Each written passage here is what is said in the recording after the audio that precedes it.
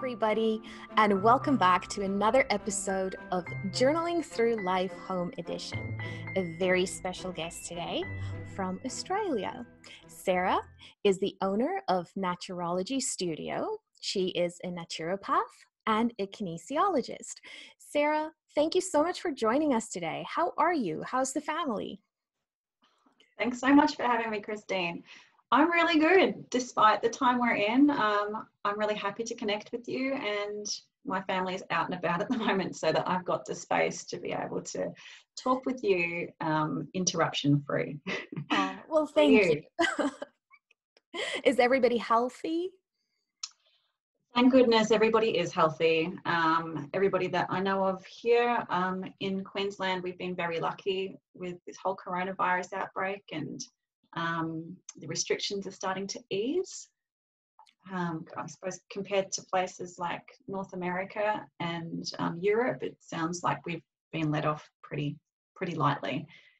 Oh, I'm so glad to hear that. Um, yeah, and even in Ontario, where I live, it's starting to move in that direction. Schools are still closed, everything is still closed. I have family in, in Quebec that is the epicenter of the virus, and even they have started to move to a progressive opening up of spaces right but i think it still creates a lot of anxiety in people do you find that the energy has sort of shifted now that things are starting to open up or that you're sort of past the biggest part of this?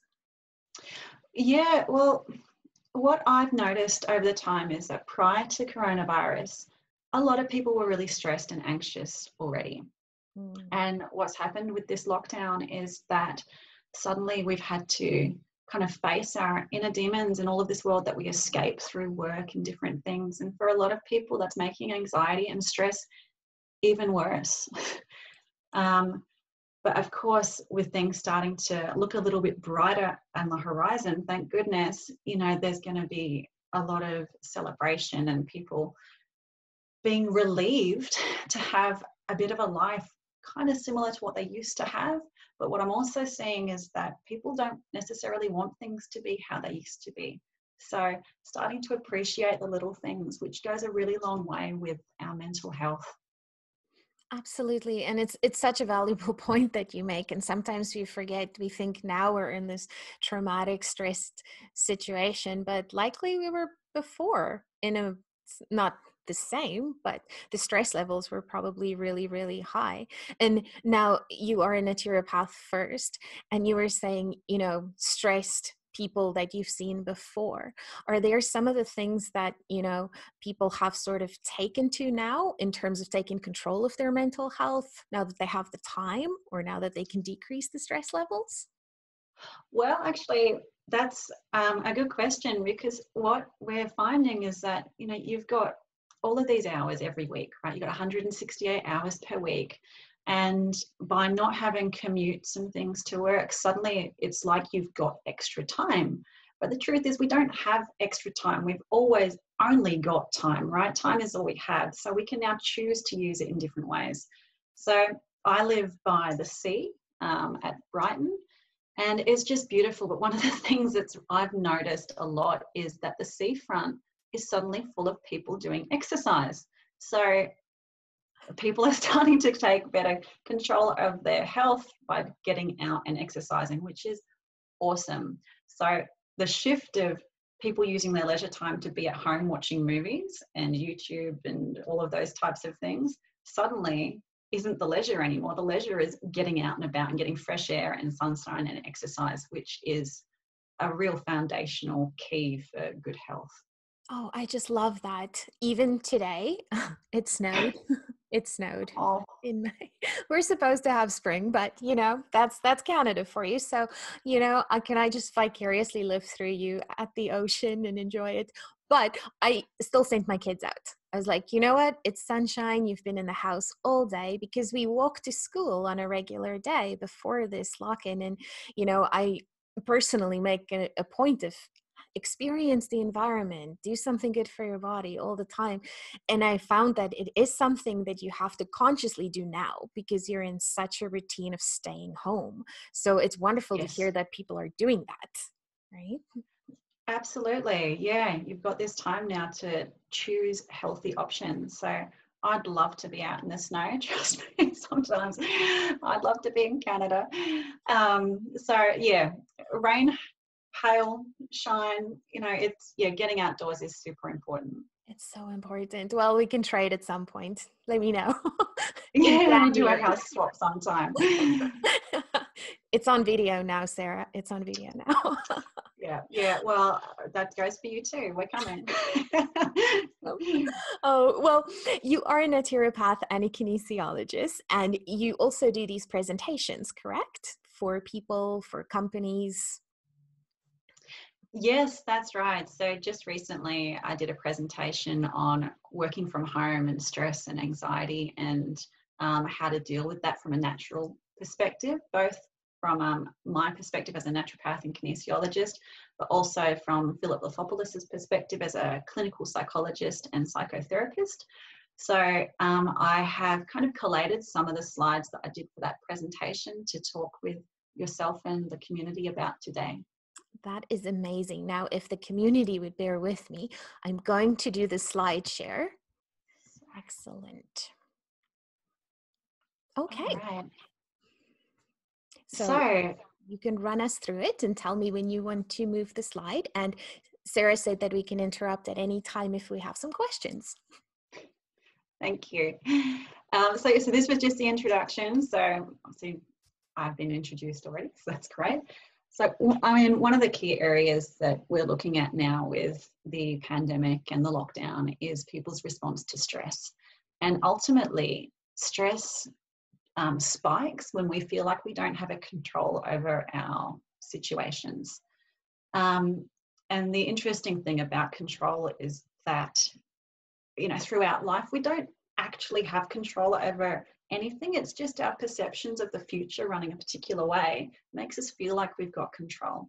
So, what we're looking at now is kind of letting go of that control and trusting what is um, in order to be able to let our stress response start to drop down.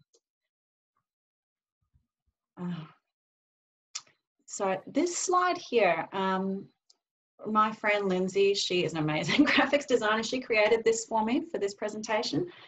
Um, this is basically how stress presents in men and women. So what we find is that in men and women, our stress levels tend to be very similar, but the way they present can be quite different and the way we manage them can be quite different. So a lot of men particularly seem to um, go towards doing exercise as a form of stress management, um, whereas women are more likely to reach out to their social networks and um, communicate. What I see from a clinical perspective as a naturopath um, is on pathology results and things. So for women, their progesterone levels start to like plummet because progesterone is this beautiful hormone that keeps us kind of happy and healthy and um, our skin looking good and feeling really well. But if we are in a stress dominant cycle, um, the progesterone that would be available to us actually gets reuptaked and becomes cortisol. So suddenly our, our, our cycles might become out of whack. We might miss periods. We, um, you know, might have painful periods and things. But basically, the point of this slide here is to show that there there's no one single way that stress presents in different people. Because for some people, they might just say that I'm not stressed, but underneath the surface, there's a lot more going on. But the way I present stress is going to be very different to the way that you present stress. Um, and the, mo- the most important thing to know is how is it that you personally experience stress? And to maybe use this slide as a guide for, um, you know, kind of like a ticking of where, where what is it that you're finding stressful and how does it present in you? And if you write down all of those stresses and how they present personally, and then perhaps put them up on your bathroom mirror. And every morning you can look at the way those signs present and say, Am I having any of these today? If it's a yes, well, we need to actively and consciously choose ways to downregulate that stress so that we can become healthier. So, what we'll kind of go through over the the rest of the slides is different ways that we can help ourselves and take notes as you go along um, so that you can write down and put on the mirror as well.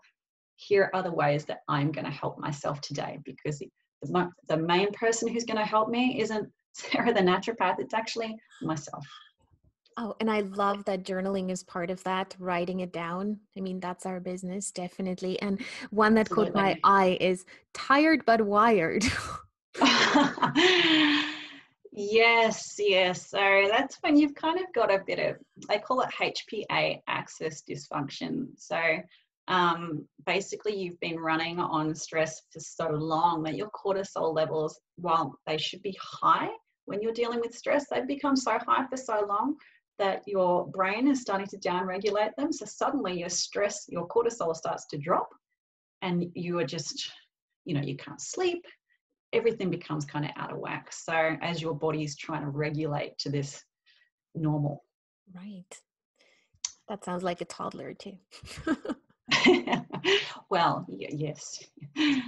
Um, so this slide here basically just that um, you've got foundational support, what you can do for yourself. So you can do physical and nutritional well-being, which is what a lot of naturopaths and nutritionists and Western herbal medicine people can speak with you about, but also um, through the mind. So this is where psychologists and counselors and things can really help you with CBT and um, you know exploring different conscious themes. So you've got those two that really relate, but foundationally underneath all of it is how we are eating and um, what we're putting into our bodies. My number one tip for everybody that I see come up with stress um, and all kinds of disease states is the anti-inflammatory diet. So this is the Mediterranean diet. It's basically oily fish, colorful foods, lots of vegetables, fiber, real grains, um, if you can have that foundation of good food, it, it um, encourages your body to have less inflammation, which means that your gut lining is going to be less inflamed, which means that your blood brain barrier is going to become less inflamed and your mood is going to improve. Now, one of the interesting things about inflammation is that um, we used to see inflammation as a byproduct of disease. Now, what we're actually seeing is that inflammation is a driver of disease. And the number one way that you can support your body to have less inflammation is through what you eat.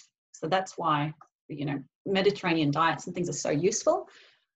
But oh, from a naturopath perspective as well, we are all completely unique and completely individual. So this is very blanket advice, okay?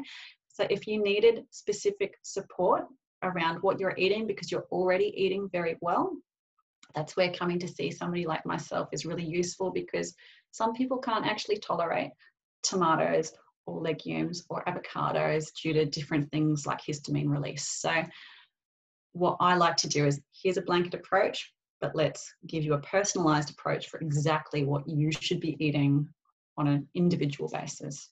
Absolutely. And and I do love that because then it's, you know, saying that you're taking control of what you're eating, right? And you know that there is a good plan specifically for you. I love that.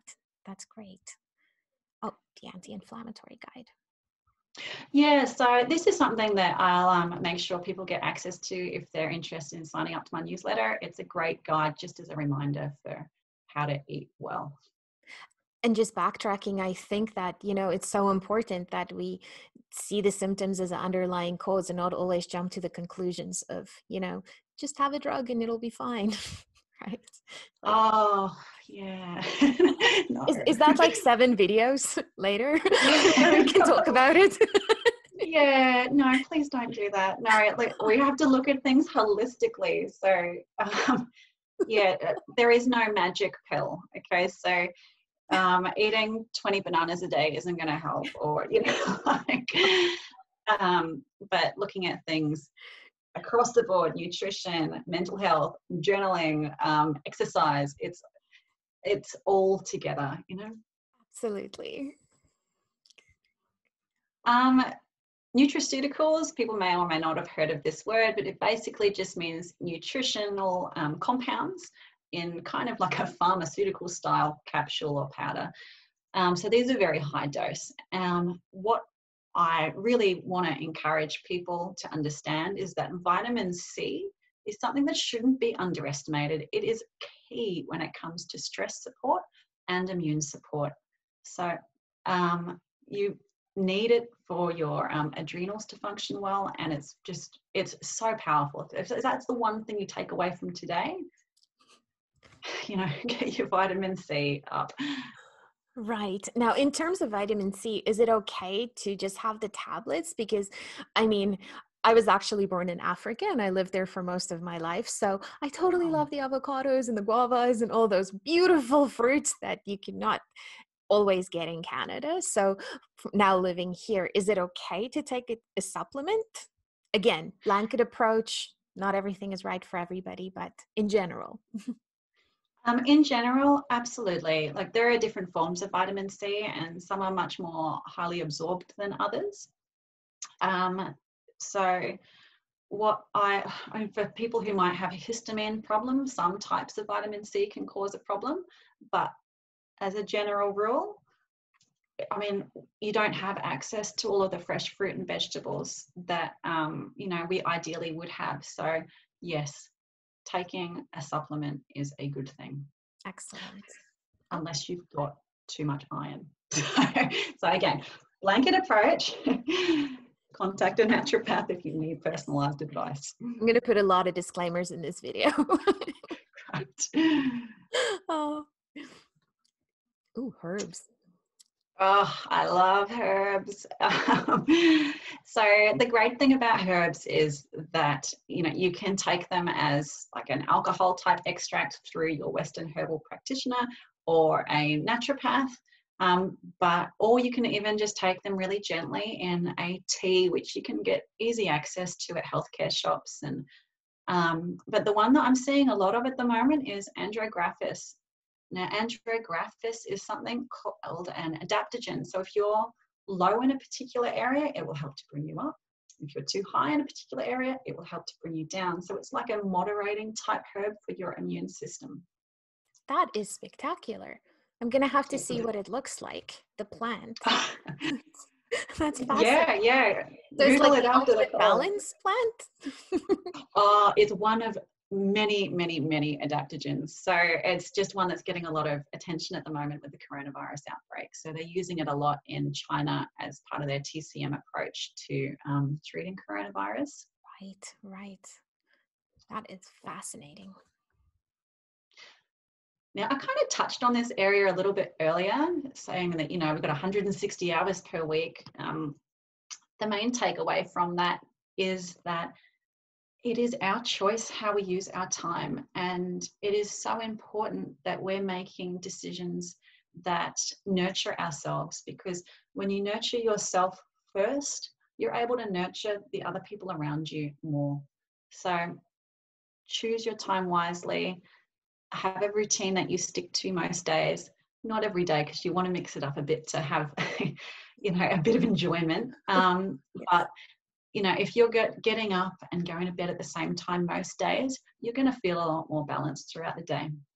Absolutely. And I think it's that thing of um, routines create safety as well. So I think, especially for children, that's what they always teach when you just have kids, right? It says don't do a schedule because schedules don't work, but have a routine, right? Within a specific time frame, obviously. That just sort of goes without saying. But I think, especially now, if people are feeling unsafe, routine can be one of those things that creates safety in their minds. Right? Absolutely. It's that whole kind of, um, you know, taking control over situations where you, things might feel out of control. At least if you've got a routine, you you will start to kind of down regulate and feel a lot more safe. Bring it down for sure. Exercise. So exercise is an interesting one. So you'll have a lot of people that exercise a lot. They'll do triathlons and uh, marathons and different things. Um, the idea with exercise from a naturopath's perspective is not to go out and train to become a triathlete or a marathon runner. Thank okay. um, if you were to suddenly introduce extreme exercise, you're actually introducing more stress to your body. So it doesn't mean you can't do those exercises, it just means build up slowly. So half an hour to 45 minutes of walking every day does spectacular amounts for your your immune system and your stress levels. So just getting out for a walk every day will support you. It's as easy as that. I love that. And it's good, and you can hear the birds and you can connect to nature. I think there's so many additional benefits too, right? Absolutely. It's that whole coming to your senses type thing. So, when you are able to do things that bring you into that present moment where you know you're not in your head anymore and you can start to feel different parts of your body and notice different sensations and sounds and smells and tastes um, that's what's going to you know bring you much more joy and balance. Absolutely. My favorite. Oh something i wish i could get more of right now with my two young children right so sleep is um, is it's really critical for um, immune health and stress health um, basically there are, there are lots of studies out there that show the more hours of sleep you get, so if you get seven plus hours of sleep per night, you are less likely to get a respiratory infection than people who are getting five to six hours. So the thing to keep in mind here is not so much that um, you know you have to get those hours of sleep because sometimes you might need help with sleep so that can come with you know different herbs and the way you you eat and your different um, you know your room set up with blue lights and things but for people like myself, and I'm sure a lot of other people out there who are up with young children during the night, if you're not able to get that sleep during the night, carve out time during the day to do meditation. It is the most powerful thing that you can do for your health. Oh, I love that. I love that. And and we were sort of just talking about that too. Um, we're in the coronavirus there's anxiety in children too. So just to be cognizant that their sleep patterns might be disrupted, there might be nightmares. We did a whole show on dreams in coronavirus. so it's it's fascinating just that topic by itself, but how, you know, the stresses from the outside of your waking life influences your dreams and how that could affect your sleep. So it's just something to be cognizant about as well. I think for anybody who's having trouble, you know, maybe falling asleep, writing it down again that journal Absolutely. idea putting it out of your mind and then just sleeping that has helped too. Absolutely absolutely. Oh and meditation right. Yeah so this is just a little bit more on meditation. So you know meditation is just about bringing you to the present moment. So being fully present where you are right now. So not worrying about the past one of the things that i love well that i heard recently about um, when you're thinking about the past is actually that worries, fears, anxieties, and you're often rewriting the past in your own head, right? So it's kind of pointless. Maybe that's a good idea to keep a journal then, because then you can just go read it and say, "Yeah, oh, this is what happened on that, that. day." full circle, full yeah. circle. well, so much of our thoughts are the same things every day, right? And it's kind of you know they're rewiring our brains in certain ways and it's not actually all that helpful you know because that's gone now. Here is where we are. Now when we're worrying about the future that also i mean it's not a waste of time because you know we're, we're human and that's the way we're built and it's how we have survived for millennia.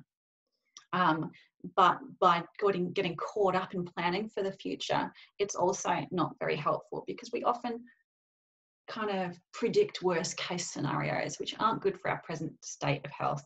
And when we are visualizing a future that may not be helpful, our brain doesn't know whether it's happening in the present or whether it's just a thought. So when we connect with the present moment and realize that we are safe and we are healthy, um, we are able to receive great guidance and insights from perhaps different areas of our brain that are looking to, to connect and not able to when we're caught up in all different things. So, this is when you're able to find things like, you know, those light bulb moments often come when you're very present in the current moment. Absolutely. I, I also think of those shower thoughts, right? When you're just like letting everything go and you're like, shower thoughts. They should do a journal for when you're in the shower, a waterproof version. but yes, that would be awesome. Light bulb moments. yes. Um, oh, this word here, it's just, it's such a good one. Psychoneuroimmunology. Basically, this just means that our, um, our thoughts affect how we feel, but they also interact with us on a hormonal level, which also interacts with us on an immuno level. So when we are having positive thoughts that bring us um, calm, that interacts with our cortisol response, which interacts with our immune system, and basically means that the whole idea is that what we think can create our reality based on the fact that if you're thinking bad thoughts, you're going to be more stressed and you're more likely to get sick. If you're thinking good thoughts, you're more likely to be calm and you're more likely to be healthy right. It's it sounds almost like a chicken and the egg situation. It's also interlinked that the one goes to the other to the other to the other. That's why it's important to have that holistic view on everything right? Absolutely. And um, you know for some of us we think okay i'm stressed or i'm angry or i'm you know you, you've got these blanket emotions right? So this is where kind of speaking about our emotions with more vocabulary. It helps us to move things out of our subconscious into our conscious for understanding in order to be able to let them go and be more present. Oh, I like that. And we'll go into that a little bit more because that's one of my favorite things as a kinesiologist is digging beneath the surface. So um, what we do as kinesiologists is, you know, if you come in and, and, you meet with somebody like myself, we might look at different acupressure points on your body, which are linked to different organs, which are believed to hold different emotions. And each emotion has a vibrational kind of frequency and allows us, um, I suppose, more vocabulary for what's going on. So, for instance, in the liver, a lot of people may know or they may not know, but the liver is seen as kind of the the organ of anger, but there is a lot more than anger that's going on. So it could be resentment or um, frustration or um, deception. Like there, there are so many different emotions underneath the surface that are trying to present themselves, often through our physical body, but we're just not able to understand the language that our body is speaking to us in in a conscious manner. This is where seeing a kinesiologist helps to bring it into your conscious awareness so that you can start to heal i just love that and and i'm so happy because i I hammered this down to the subject to say that no emotion is a bad emotion. Like there's so much like negative, like don't feel that, don't feel that, don't feel that. And I'm like, but you're suppressing what your body is trying to tell you. It's just a messenger emotion, right? So it's amazing that you can then move it out and see what the message is in order to heal. That's that's that is Right. Like that's the number one, probably uh, number one thing that people have with their emotions is judging it and saying, this is a bad emotion. I shouldn't feel that. Like my, you know, I saw somebody else act in that way. So therefore I can't act in that way. When actually, if you just said, okay, I am actually like I am not an angry person, but I am feeling anger or whatever it is that you might be feeling, it kind of takes away that um, that judgment and negativity and allows you to just sit with it mm-hmm. so that you can connect with it and let it go. And it also takes away the intensity of it, right? Absolutely. Um, so, yeah, so this is just a little bit more about how having that emotional vocabulary allows us to have a richer experience of life. Right. I like preventing the emotional shutdown because I think that is something that people are dealing with now too. They might have too many emotions going on. So, you know, that's right. Shut down. Just take it one at a time. This is a really interesting one and one that I'll include with um, anybody who signs up to the newsletter. So, behind anger is actually a whole host of different emotions that might be coming through. So, if somebody's acting angry or if you're feeling angry, have a think about what might actually be behind that. Is it hurt? Is it guilt? Is it confusion? Because once you can get in touch with that, you can start to again take the layers down. Absolutely. I like the outrage at injustice. I love to hug trees. It's always on my mind. I'm like, yeah. And this one here is just another really useful wheel. It's called the feelings wheel. So, you know, you might be, again, I'm just going to use the angry word because it's, it's so much, many things that can be behind it. But anger could, you could be feeling let down. And why are you feeling let down? Well, you could feel betrayed or you could have felt resent towards somebody or from somebody. Um, so this is just another useful guide that allows people to open up their emotions and understand what's going on. And I like that, even just to bring it back to when you write it down. Instead of just saying, I'm angry, use this wheel and see what are you actually, you know? Absolutely. Where does it lead to? Like write it down, do a, a vocab on it. I love it. Yes. And, and another one.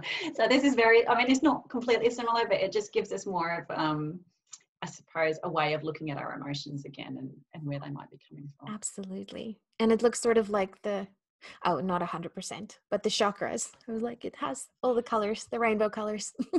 Yeah yes and i love chakras and delving into those and the emotions that might be going on behind them. Right right. Oh this is so um, yeah so this is just some mental health strategies so you might find that you're in a leadership leadership position whether that's at work or as part of your family or friend circle or social circle the best thing that you can really do is always by leading by example. So, again, reinforcing that self care comes first. Okay, so we have to trust the people around us that they're going to be doing the right things by themselves and by you. So, by trusting other people, you're empowering them to, um, you know, support themselves. Um, and there's an interesting thing here called toxic positivity that Philip, the psychologist, he's very much interested in that when somebody is anxious or unhappy, it can sometimes be very unhelpful to just say, oh, everything's going to be fine. Because, do you know what I mean? Like, because that really dismisses how that person is feeling. Absolutely. So just be there and say, okay, I hear what you're saying, and it's okay to feel like that is really useful. And I love that because it's a boundary too, right? It gives them the autonomy to deal with it without you being the rescuer for it. And I completely agree. It's that, you know, every time you go on a social media and it's all this happy, happy, happy, and it has that, you're like, that's not real life. Real life doesn't work that way. That's so true. Social media can be very, very um, stressful for some people because it's like, how can everybody else be so happy but i'm not? And just saying well actually that's not the real world. No and it's one picture. And now nobody can travel anyway so nobody can post pictures of their vacations. True. Sorry people this is useful just for if you're feeling anxious um, so you could write this down in your journals for instance you know that this feeling won't last forever. Um, all of these things here, they're just it's just a useful guide again for for how to help yourself when you're feeling anxious. And I think that's so beautiful the the temporary status that we are all in, right? To know that this is not going to last forever. It's not going to last forever, definitely. So. Um, and this is the last slide. So, a couple of things that I probably didn't mention through the presentation is, you know, if you're feeling anxious, grounding, deep breathing are some of the best things you can do. So get outside, get your shoes off if it's not too cold, and um, get your feet on the earth. Something that I do for a lot of people all over the world is I create Australian bushflower essences. Okay, and I actually line these up with the different chakras. So emotions that might be happening with um I'll bring right. up again. Show us again. so I've been taking this one today. It's for the throat chakra. It's um I took this because I was feeling a little bit anxious about the talk and being on camera.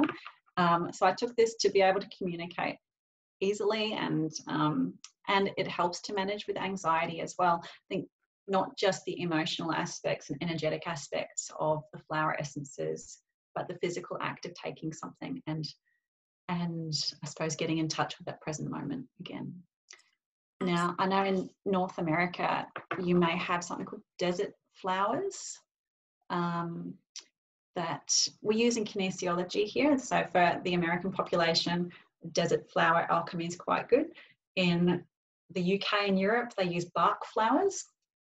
And of course, here in Australia, we use Australian bush flowers. So, um, if you have a look at my website, there's so many different emotions that they can help with. And um, I suppose right now I've got a special on for um, just helping people during this time to be able to give them emotional support through flower essences. Oh, that's beautiful. Now, do you actually ship them? I know some of the borders are closed at the present time. Is that something like, if not today, maybe in future, people can buy off your website and you ship not internationally?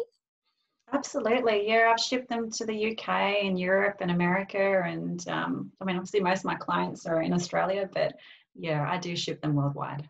Oh, that's wonderful. So I will put all of the links in the description below so people can, you know, take a look at your website. There's so much beautiful information. And maybe a part of that too is taking the essences, is getting back to our true selves, back to the basics, back to nature, yes. right? Yes, yes, yes. And that's what I'm all about getting in touch with nature because that's what we are. We're, we're all natural beings living in a sometimes very unnatural world and get back in touch with nature. And that present moment, you just, you know, you're going to feel so much better. Absolutely. And now, is there a way for people to reach you now? I know it's not as easy to see people because of the self isolation, but uh, can they reach you for the newsletter, we'll put that in as well, but for consultations or anything like that? Yeah, definitely. I suppose one of the great things right now that um, during this lockdown is that suddenly the option to connect with people all over the world has really become quite easy. So I I am offering um, naturopathy consultations um, via Skype and Zoom and FaceTime to anybody who's interested all over the world. Oh, that's fantastic. Well, Sarah, thank you so much for your expertise. Thank you for your time. I hope you get to enjoy some of the sunshine, the vitamin D, right? yes, yes, yeah, vitamin D for sure. Thank you very much. Excellent. Thank you. And we will chat to you again soon. Thanks so much, Christine. Would you like a free food journal? head over to journalingthrough.life. We also have a premium journal for holistic alignments to live a life full of passion, happiness, and self love. Keep journaling and keep growing.